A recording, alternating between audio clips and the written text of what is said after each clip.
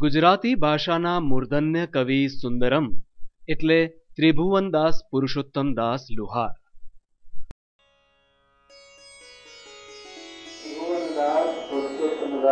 લુહાર. સુંદરમ. સુંદરમનો જન્મ તારીખ બાવીસ માર્ચ ઓગણીસો આઠના રોજ ભરૂચ જિલ્લાના આમોદ તાલુકાના મિયા માતર ગામે થયો હતો. માતાનું નામ ઉજમબહેન પિતાનું નામ પુરુષોત્તમદાસ કેશવદાસ લુહાર.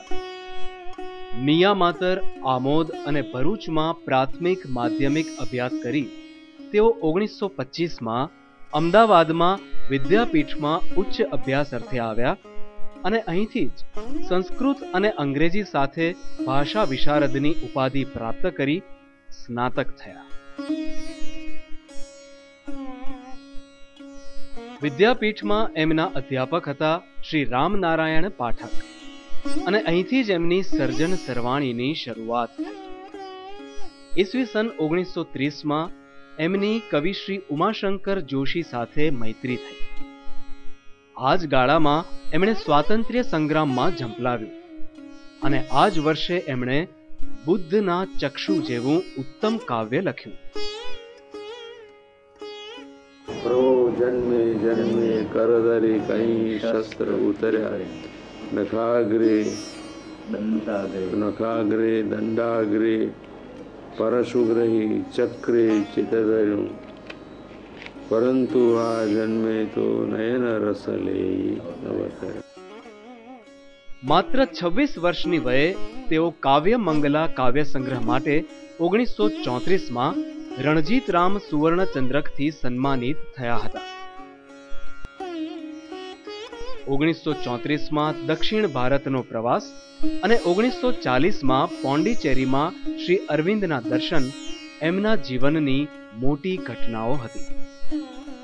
કવિ શ્રી સુંદરમના વિપુલ સાહિત્ય સર્જનમાં કોયા ભગતની કડવી વાણી અને ગરીબીના ગીતો કાવ્ય મંગલા રંગ રંગ વાદળિયા વસુધા, યાત્રા વગેરે કાવ્ય સંગ્રહો, હીરાકણી અને બીજી વાતો, ખોલકી અને નાગરિકા, પિયાસી, ઉન્નયન વગેરે વાર્તા સંગ્રહો, અર્વાચીન કવિતા, અવલોકના, ચિદમ્બરા સમર્ચના, સાવિદ્યા, સાહિત્ય સિંચન વગેરે વિવેચન સંગ્રહો ઉપરાંત પ્રવાસ વર્ણન દક્ષિણાયનનો સમાવેશ થાય છે.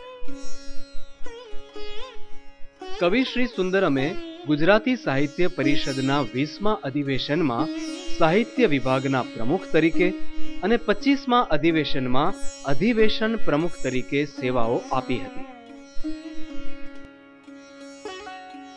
પોંડિચેરીમાં સહકુટુંબ સ્થાયી નિવાસ કરવાનું નક્કી કર્યા પછી ત્યાંથી તેમણે દક્ષિણા ત્રૈમાસિકના તંત્રી અને પ્રકાશક તરીકે કાર્ય કર્યું. અને ત્યાં જ એમણે અરવિંદના ચાર પત્રો માતાજીના નાટકો વગેરે પ્રગટ કર્યા. ગુજરાતી ભાષાના આવા ઉત્તમ કવિને વાતો કરતા અને કાવ્ય પઠન કરતા સાંભળવા એ એક લાવો છે. કવિશ્રી આપની સ્નેહ ઉપરની પેલી બે પંક્તિઓ સૌ કડીઓમાં વચ્ચે શોપમાં ઊભા હતા, મોટું મેદાન છે ત્યાં. એક નાની છોકરી આવી નોટ એક કડી લખી આપો ને. કડી એટલે જગની સૌ કડીઓમાં સ્નેહની સર્વથી ઓળી. એટલે એને એને કડી એટલે જે સીધી હતી, એ સીધું જ કડી થઈ ગઈ પાછી. એમાંથી કડી રિંગ એમાંથી કવિ સુંદરમ બાળકો સાથે સહજ રીતે બાળક થઈ જતા હતા. તો એમને બાળકો સાથે વાતો કરતા પણ સાંભળીએ અને એમણે લખેલું એક બાળગીત પણ એમના જ મુખે સાંભળીએ. Quietly. And then there, my name was there. So they, when he opened this ribbon and wanted to see if some money comes out of that. આ ક્યાંથી કવિતા આવી તો એ બધું લખવા બેસીએ ત્યારે એક મોટી ફેક્ટરી ચાલુ થઈ ગઈ લાગે છે એટલે આમાં દરિયા ને તીર એક રેતીની ઓટલી ઊંચી અટૂલી અમે બાંધી જી જીરે પગલું તે એક એક પાડે મહેમાન એક. રામજીની આણ અમે દીધી જીરે હવે પહેલા મહેમાન તમે આવો સૂરજ દે. અને સૂરજની સાથે તો સોનું હોય, એટલે પગલું સોનાનું એક પાડ જોડે અને હવે પછી શું કરવાનું? પગલામાં નવલખ ચારાની ભાતને સંધ્યાના રંગ બેક માંડજો જીરે સંધ્યાના રંગ બેક માંડજો જીરે હવે બીજો મહેમાન કોણ લેવા જાઓ તો પવન દેવ હાથ મારા. તમે આવો પવન દેવ પગલું પનોતું એક પાડજો રે. અને હવે પગલામાં વાત લખો પરીઓના દેશની અને એમાં હવે તો પરીઓ તમે તો દૂર દૂર ફરો છો ને. ફૂલડાની ફોરમ પૂરો યોજી રે. ત્રીજા મહેમાન તમે આવો સમદર દેશ અને પગલું મોતીનું એક પાડ જોજી રે. સહેલું ને સટ પગલામાં મેલ ચણી સાતે પાતાળના માણેકના દીવા પ્રગટાવજો જીરે ધીરે મહેમાન જરા ધીમેથી આવજો. પગલા તે પાડજો, જાળવી જીરે હા, આવો તો જરા સાચવીને કામ કરજો. જોજો વિલાય ના એ પગલાની પાંદડી. બાળુને ઓટલી બનાવી જીરે મોટા કડિયા કામ કરનારા કોન્ટ્રાક્ટરોએ આ કામ નથી કર્યું. એટલે અમારું બાળપણું છે. બાળથી અમે એ ધ્યાન રાખીને અમે તમને કેવા ભાવપૂર્વક બોલાવીએ છીએ. એવી રીતે મહેમાન દરિયાને તે આવો ને.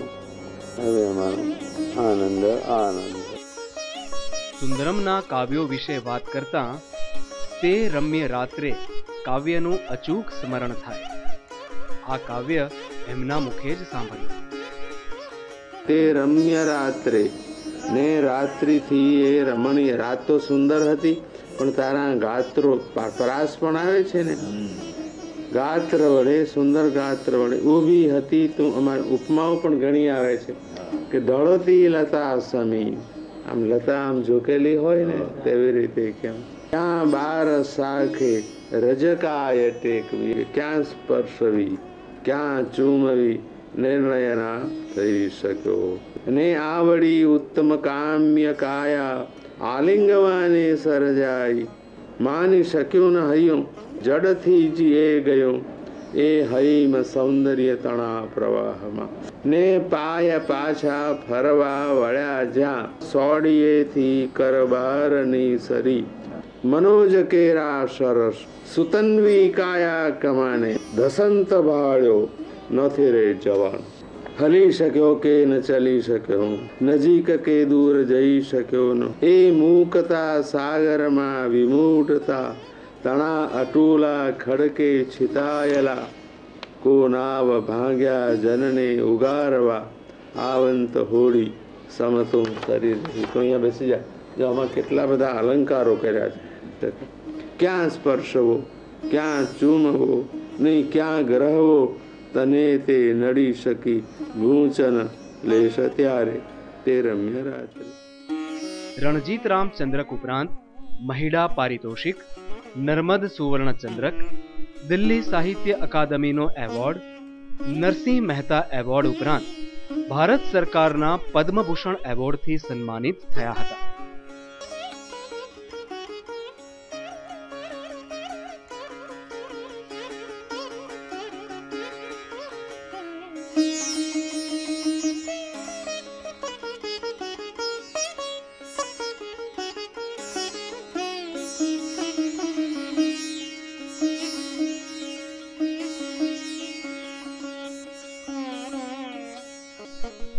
ગુજરાતી ભાષાના આવા મહાન કવિનું તારીખ તેર જાન્યુઆરી ઓગણીસો એકાણુંના રોજ પોંડિચેરીમાં અવસાન થયું હતું.